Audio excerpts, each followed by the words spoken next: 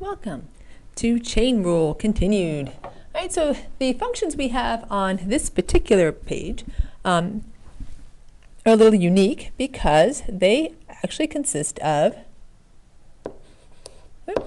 three functions. Oops, let me write that a little clearer.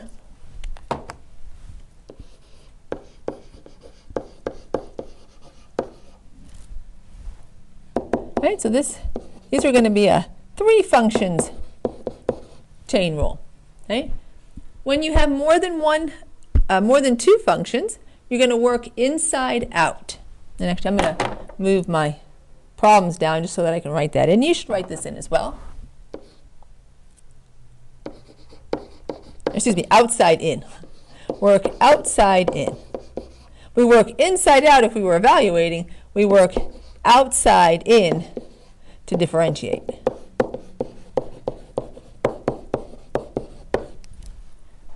There we go. All right, so we have cosine squared 3x. Another way you could write this. And I think it helps uh, in terms of evaluating. I'm, also, I'm going to put this 3x in parentheses. Um, but it's the whole thing squared, right? It's just a convention that we put the square next to the cosine, but it's not cosine that's squared. It's cosine 3x that's squared, right? So we're going to work our way outside in, right? So here we're going to have a, a u, which is blop squared. All right, then we're going to work our way in a little bit. We're going to have a v, and that's going to be the cosine blop. Right? If it's not just a cosine x, it's a composite function, right? And we're going to we need to use the chain rule. And then the w is going to be the last little blop, which is the 3x. And I really should have moved this down a little because now I have no space, there we go, to write the derivative. Because I probably should put the derivative right next to it. Okay, so now you can write it and give yourself enough space for the derivative. All right, so now let's find the derivative of the u part, right? The most outside part, right? So the derivative of the outside part, we got blop squared is u. Derivative of blop squared is 2 blop, right? We'll worry about the blop later on. All right, so now we're working our way in. All right, so now we have cosine blop. The derivative of cosine blop is going to be negative sine blop. And then last but not least, the last little part, the derivative of 3x. Well, that's probably the, that's definitely the easiest, I think. I don't know. They're all, well, they were, none of these were too, too difficult. But the derivative of 3x is 3. All right, so now to find the derivative of our whole function here, we're going to have to take the, the derivative of the u part times, and I'll put with respect to x, times the derivative of the v part times the derivative of the w part. Oops, that's not dw dw, it's dw dx. Right? We just decided to call that little piece w so we could have a way to um, label them all, right? But we need the derivative of the outside, which is du dx, the derivative of the little bit more inside, which is dv dx, and then the very inside, which was dw dx. And all we got to do now is multiply them together, and we got to replace the blops with what, what was there. All right, so 2 blop, what's in the blop? That's what was in the blop, right? So this particular blop here is, I'll just put this blop equals uh, cosine 3x. All right, so let's fill in the du dx part with 2 times cosine 3x. All right, and so now we need the next derivative. Right, so we had negative sine blop. And then what was the blop? That was just the 3x. Right, so this blop here equals, so that's supposed to be an equal sign, the one above it there. Um, it's just looking a little funky. Um, oops, sorry, not sign, it's 3x. All right, so that blop there was, that was just 3x. We just used a blop so you wouldn't get confused. All right, so we're going to have 2 cosine 3x times negative sine, and that's a times, not a subtraction, times negative sine 3x. And then the last little part, times 3. All we got to do now is clean it up. We can multiply the things that can be multiplied, namely the 2, that negative there, and the 3. All right, so g prime of x is negative 6 cosine 3x times sine 3x. I don't, I don't really need that parentheses there. Let me get rid of that second parentheses.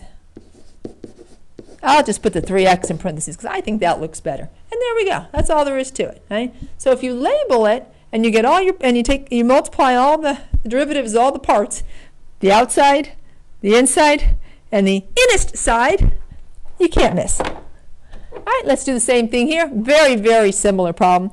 Another way we can write this is h of x. Let me fix that. That looks that looks all weird. h of x equals sine, and I always do this, 2x plus 1, and then I just put a parentheses around the whole thing and put squared, right? Because that helps you set up the chain rule. All right, so the u, that's a blop squared. And just as a reminder, the blop here is everything inside those, all of those parentheses, which is the sine 2x plus 1. And we'll fill that in afterwards. Right? And then we have the v, right, which is what's inside that, that big old parentheses, which is the sine blop. And this particular blop was a 2x plus 1. And then the last little part is a 2x plus 1. Right? So a little hint on figuring out how many functions you have. If sine's raised to any power, sine's a function, the exponent's a function, and if there's anything but an x in that parentheses, that's a function too.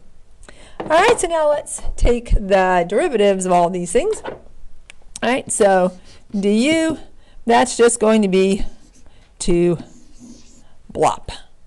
And dv, that's just going to be derivative of sine is cosine blop. And then finally dw, derivative of 2x plus 1, that's just a 2 because the derivative of 1 is 0. All right, so now for g prime of x, excuse me, h prime of x, we need to multiply the du dx times the dv dx times the dw dx. I just left, by the way, the dx is out of the top part because otherwise I ran out of space. I just abbreviated. All right, so then h prime of x is going to be um, 2 blop, and the blop is sine 2x plus 1. And actually, I don't even need those parentheses. I'm going to get rid of them. You need the parentheses around the 2x plus 1, but you don't really need the parentheses around the sine. 2x plus 1, just so it doesn't get to be too busy with parentheses. And then times the dv, so that's going to be cosine blop, and inside the blop was 2x plus 1.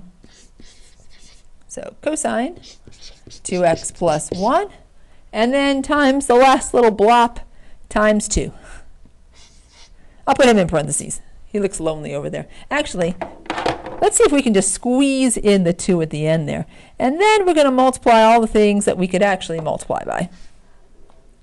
Now, you can't multiply anything that you're taking the sine or the cosine of, but you can multiply coefficients. Come on, little cosine.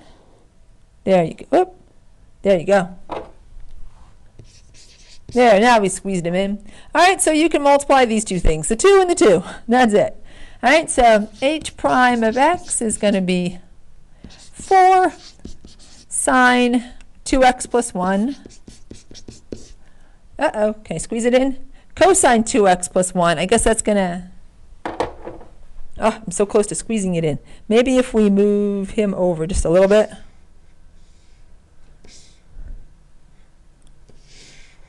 I wrote too big on this problem. I gave myself no room for the other problem. There we go. Move him over, move him over. Move your little 3x over. I should have, see, I should have left the parentheses out of this one. I got way too many parentheses here. And actually, I'm missing a parentheses.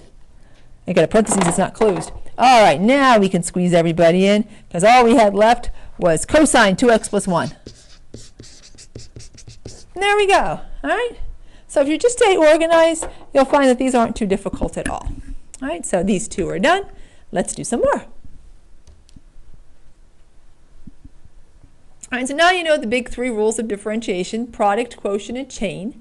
Let's see how the three can be incorporated with each other. And we'll find the derivative of each of the following functions. All right, so here we have, first of all, we have a product, right? We have 5x times the square root of x plus 3. But we also have a chain, right? Because it's not just an x inside this parentheses, uh, inside that radical. Let's first of all rewrite this one so that we have an exponent instead of a radical so that we can use the power rule. So we have 5x times x plus 3 to the 1 half. All right, so we're going to use the both the um, product rule and the chain rule. All right, so product rule, remember. All right, so you're going to take the derivative of the first one, or excuse me, take the first one, we'll call, well, I don't want to call them f of x because that's the whole function. Uh, we're going to run out of letters here. We'll just call it, keep calling them u's. All right, so the 5x is going to be the u. All right, so we're going to have to take the du, dx, take the derivative of that, uh, oh, excuse me. Oh, my goodness gracious. And then to write, take u times the derivative of the second, dv dx. There we go. I spent so much time trying to figure out what letters to call things, because that's already called f of x, plus the second one, v, times the derivative of the first one. That's all I was trying to say. All right, and then for the this part here, the dv part, that is also a composite function. Right, so for dv dx, we're going to have to take, we'll use more letters here, the outside, and we'll call them the dw, that's the outside,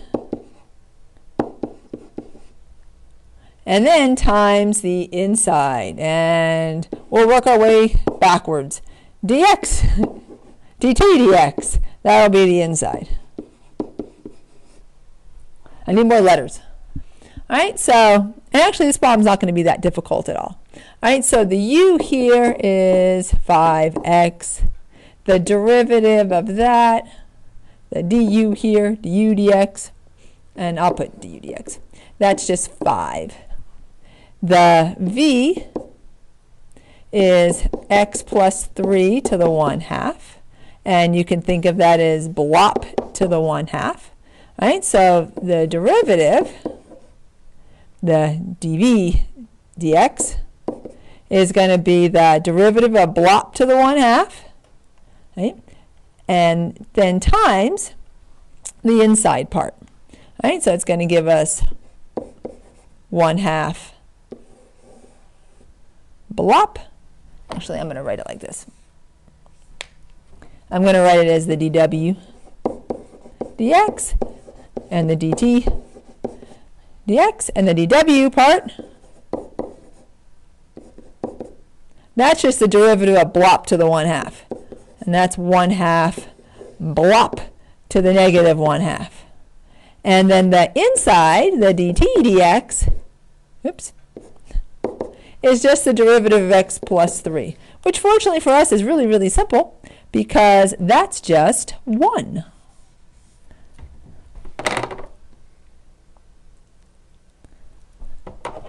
Right, so the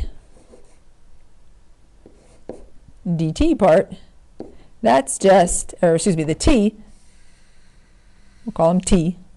So the t is the inside because I have no more letters.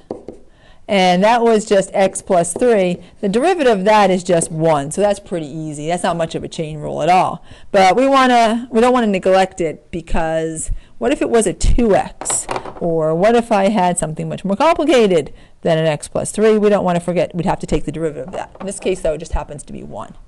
All right, so now let's write our final derivative over here. So we're going to have the first, which is 5x. All this writing, and actually the derivative is really easy, times the derivative of the second. And the derivative of the second, oh, we never finished it. The last little part there, the dv dx, was the 1 half blop. And blop, remember, was x plus 3 to the negative 1 half. We'll simplify that afterwards. And then times the derivative of the inside, but that was just 1. All right, so that's just going to be then times 1 half. And we may as well simplify that negative now. All right, so times 1 over 2 times the square root of x plus 3. All right, so first times the derivative of the second plus the second which was x plus 3 to the 1 half. And we could write that as the square root.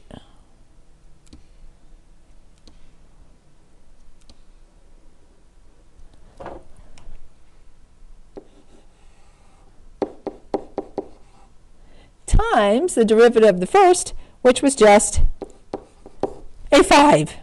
All right, now let's just clean it up and we're done. So f prime of x, final answer, Let's put the 5x in the numerator. 5x divided by 2 square roots of x plus 3 plus 5 square roots of x plus 3. And there's our derivative. So it's really not that complicated, but I want to make sure I broke down each little part, right, so that you knew how we got that derivative. Right? So we're done with this one. Let's go on to the next one. And this one's going to be a composite as well. This time, we definitely have a chain. Here, here we had a pretty weak chain. It's kind of hard. I mean, it's a chain because it, x plus 3 is not x, but its derivative was 1. This one, we're going to have a true chain because its derivative is not going to be 1.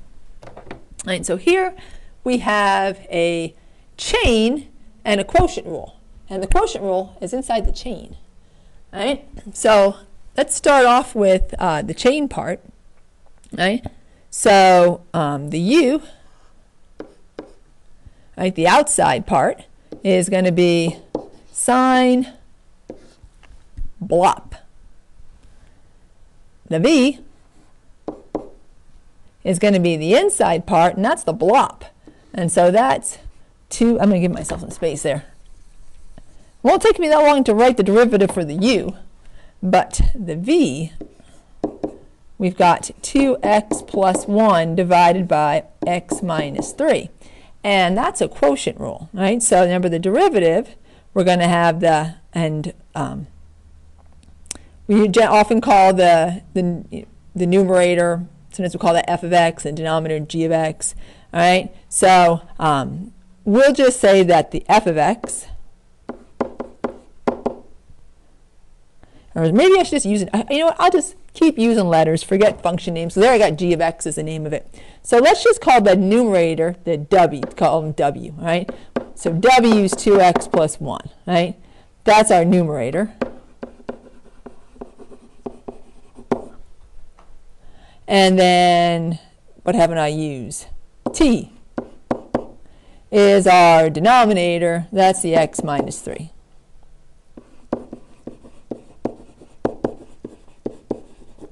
Right, so on the chain rule, it's going to be the denominator, so t in this case. So our dv dx is going to be the denominator times the derivative of the numerator, so dw, and then minus the numerator times the derivative of the denominator, so w dt, all divided by the denominator squared, t squared. I'm tired of writing f of x's and g of x's because they're always right there. Right, and we want that to be our final. All right, so now all we got to do is figure out our derivative here. For the v part, the u is easy. The du, that's just cosine blop. Now let's figure out the v, all right, the dv. All right, so dv here is going to be the denominator, so x minus 3, times the derivative of the numerator, which we didn't bother to do. Let's do that right now. So dw, derivative of 2x plus 1, a big old 2. The only thing more complicated than that, or easier than that, is the derivative of the denominator, which is 1. All right, so we're going to have x minus 3 times the derivative of the numerator, which is 2, minus the numerator, 2x plus 1, times the derivative of the denominator. And I know it's just a 1, but if you write it in, then you won't have to think, hey, did I remember to put it in? You can see you did all divided by x minus 3 squared. So let's simplify that. dv is equal to, and so we got 2x minus 6, and then minus, don't forget to distribute, 2x minus 1, all divided by x minus 3 squared. Right? So we could simple, oops, well, my square decided to, I don't know, x minus 3 squared. We need to simplify that. So the two x's are going to be gone. We've got negative 7 time, divided by x minus 3 squared. All right, so now that we've done all that work, now we get the easy part, the final derivative.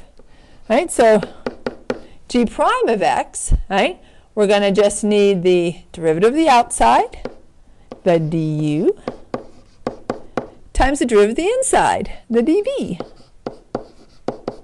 Right, so g prime of x is, right, so du, that was just cosine. So cosine blop, and the blop was 2x plus 1 divided by x minus 3 time, uh, times the derivative of the, the um, of the 2x plus 1 divided by x minus 3, the derivative of the inside part, and that was just negative 7 divide, uh, divided by x minus 3 squared. All right, now you can't do much simplifying. Really, you can't do any simplifying at all. But we usually put the coefficients in front of cosine. So let's just move those coefficients, all right, and then we'll be done. All right, so I'm just going to kind of label this. Um, this all of this was just the chain and quotient rule. But our final answer is up on the top. And do I have enough? I'm going to just move this down just a little bit. Will it move? No. The problem will move. Hey, come back. Ah, the hazards of technology. Come back. And I think I, I can squeeze it in here. I'll write it in red. So last little thing. g prime of x equals, let's just put that in front. Negative 7 divided by x minus 3 squared, and then fraction, you could put cosine up in the numerator, um, but because I can't write that small, we won't. We won't. And by the way, you could not simplify that at all. Whatever the cosine is, the cosine is. And there's our final answer. All right, final answer. All right, so, you know, you had a lot of steps here, but hopefully the steps weren't complicated. Right? And I like to show you all the steps. You know, if you label things, you're less likely to make mistakes. When you're trying to remember it all, uh, you might forget to write something down, and oops, there you have an error. All right, so here we have a chain rule and a quotient rule. Right, the last one, the quotient was in the chain. In this case, the chain is in the quotient letters. All right, so uh, U is going to be um, Actually, we got the numerator and denominator. In the last problem, I labeled a numerator, for lack of better letters, W and T. Just, I don't know why.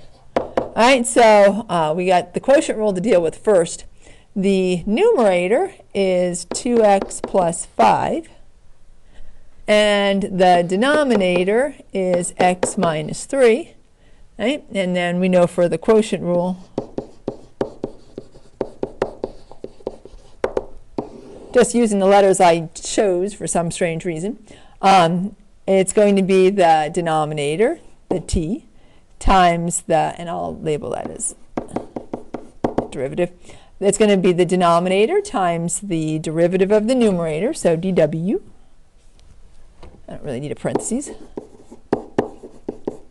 And then minus the numerator times the derivative of the denominator, the dt, all divided by that denominator squared. Right? We'll just label it with w's and t's, just for no particular reason. All right, so we've got the quotient rule, and now we've got to figure out each of these derivatives. Well, this one's really, really, how many times have we seen x minus 3 in this particular set of problems? Derivative there is 1, so that one's really easy. Um, this one will be a chain rule. Right? So we're going to have the uh, outside part is just going to be blop to the 1 half, right? the blop to the 1 half. Because we could rewrite that square root as an exponent of 1 half, blop to the 1 half. Right? And then the, um, we need the uh, v, which is going to be the derivative of the inside part, and the inside part is 2x plus 5. Right? So derivative of blop to the 1 half is just going to be 1 half blop to the negative 1 half. You got to love that oval, by the way. There is 2x plus 5. And then the derivative of the denominator is just a big old whopping 2, right? Because the derivative of 5 would be 0. All right, so now let's put that all together. All right, so we have t, the denominator, x minus 3. Oh, we, actually, let's put it all together as soon as we write the final derivative for dw. All the good people are waiting for you. Come on up, dw. There we go. Is going to be 1 half, and the blop was, come on, there we go, uh, was the 2x times the derivative of the inside, which was just 2. Let's simplify that. Well, the 1 half and the 2, whenever it decides to make its appearance, well, about time, are going to cancel each other out. That's going to be 1. Let's simplify that negative exponent 1, and then we can actually rewrite that as a radical, may as well, I guess. 2x plus 5. So 1 over the square root of 2x plus 5. Now that we've done that, now we can take the derivative. So h prime of x is equal to the uh, denominator, which is x minus 3, times the derivative of the numerator, which, after we were done, was 1 over the square root of 2x plus 5, yep, minus the uh, numerator, which was square root of 2x plus 5, times the derivative of the denominator, which was just a big old whopping 1, all over the denominator squared, which was x minus 3 squared. And we have complex fractions galore in this particular problem here. Um, we've got a fraction within a fraction. So actually we only have one of them. It's that, it's that 1 over 2x plus 5 that's the problem. So before we even do any more simplifying, let's multiply every term by the square root of 2x plus 5. All right? So technically, this is one term. I didn't simplify it yet, but that is one term. And then the 2x, square root of 2x plus 5 times 1 as a second term, right? And so that one as well is going to get multiplied by the square root of 2x plus 5. And then, well, you do it to the numerator, you got to do it to the denominator. Uh, square root of 2x plus 5. All right, and so now let's just finish this one off. We have h prime of x equals all right, so uh, the 2x, square root of 2x plus 5 and the square root of 2x plus 5, that's going to cancel each other out. So now we only have an x minus 3. And now that minus square root of 2x minus 5 times the square root of 2x, excuse me, square root of 2x plus 5 times the square root of 2x plus 5. Well, that's just going to be the square root of 2x plus 5 squared, which is just 2x plus 5, right? That, that they're, uh, it's, it's going to cancel out the radical because there's two, two 2x plus 5s. In the denominator, you have the square, the x minus 3 squared and the 2x square root of 2x plus 5 squared. I guess it looks better with this first. Two, square root of 2x plus 5, just put parentheses around it, because the other part is x minus 3 squared. Looks a little better. The last little thing we're going to do is just distribute the negative and combine the like terms. And I'm running out of space, so I'm going to distribute the negative right now. All right, so that's a plus, and the signs just change. So we have x minus 2x. So h prime of x is going to be negative x, and you got a negative 3 and a negative 5, that's a negative 8. And in the denominator, we have the square root of 2x plus 5, x minus 3 squared. So quite honestly, that's simplified out pretty nicely. It's not that, you know, not too bad looking. Certainly was better than what we started with. Right? And that's your final derivative, right? So a lot of this is just the setup, and then once you've got it set up, it's easy to find the derivative. Let's see if I'm going to do another problem or, if I'm at a place where